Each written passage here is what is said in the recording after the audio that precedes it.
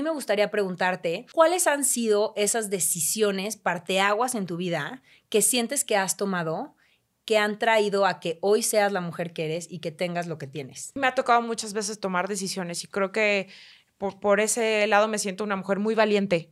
Eh, no ha sido fácil salir del entorno que salí y no porque viniera un entorno complicado, todo lo contrario. Eh, estoy llena de valores, estoy rodeada de una familia maravillosa. Yo soy originaria de La Piedad, y a mí desde muy chiquita me llamaba la atención la televisión. Yo no sabía cómo iba a llegar a la televisión, pero sabía que quería estar detrás de esa caja.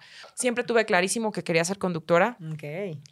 Y, y, sabía que mi sueño no estaba por cumplirse ahí. Si bien empecé en un programa local en La Piedad, pues tomé la decisión, uno, de salir a estudiar a Guadalajara, ¿no?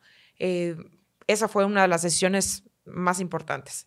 Eh, cuando estaba en, Guadalajara, eh, tomé la decisión de meterme un casting para, para hacer televisión. Este, y en el primer cuatrimestre quedé en un programa de televisión en Guadalajara. Y ojo, no percibía un quinto, no me pagaban un peso.